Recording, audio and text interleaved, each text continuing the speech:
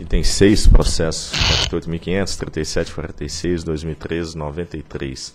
Solicitação de revisão extraordinária dos limites dos indicadores de duração equivalente de interrupção por unidade de consumidor e de frequência equivalente de interrupção por unidade de consumidor dos conjuntos da Eletrobras Distribuição Piauí para o ano de 2013. Diretor relator, doutor Edivaldo Santana. A resolução autorizativa 2666 de 2010 aprovou a nova configuração dos conjuntos de unidade de consumidor e estabeleceu os limites de continuidade DEC-FEC a partir de janeiro de 2011 a serem observados pela CEPISA para o período 11-13.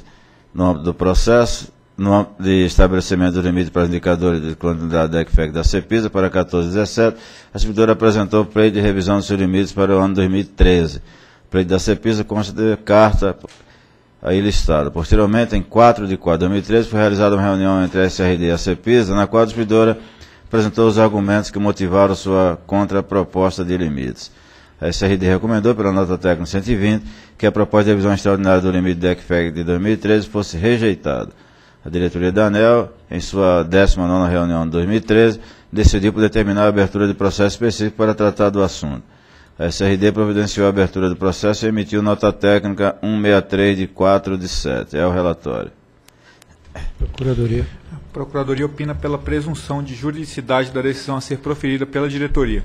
Por meio da nota técnica 163, a SRD avaliou a proposta apresentada pela distribuidora. Ressaltou a SRD que tal proposta visa basicamente ajustar os limites ao desempenho previsto pela distribuidora. O entendimento da SRD é que o pleito deve ser negado, pois, um, contraria o regulamento, uma vez que propõe a elevação dos limites de 2013 em relação a 2012, e dois, é inoportuno, dado que é solicitada a alteração dos limites que já estão sendo aplicados.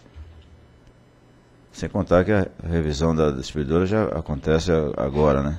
De fato, os indicadores individuais possuem limites mensais, trimestrais anuais obtidos de uma relação com os indicadores DEC-FEC, já existe, já existe compensações pagas aos consumidores por violações de limites mensais e trimestrais e outros a serem pagos com base nos limites anuais. Uma alteração desse limite durante o ano, durante o ano tornaria o, ente, o entendimento do cálculo das compensações a serem pagas bastante confuso, com sinalizações de que o incentivo, o prêmio ou a penalidade pode ser adequado no, ao caso específico, quando o certo é o contrário. Diante do exposto, com base nos autos do processo aí listado, voto por negar provimento à solicitação da CEPIS de alteração dos limites indicadores de DECFEC vigentes no ano 2013. É o voto. Em discussão. Em votação. Voto com o relator. Também voto com o relator, proclamo que a editoria decidiu por negar provimento à solicitação da CEPISA de alteração dos limites de indicador DECFEC para o ano 2013. Próximo item.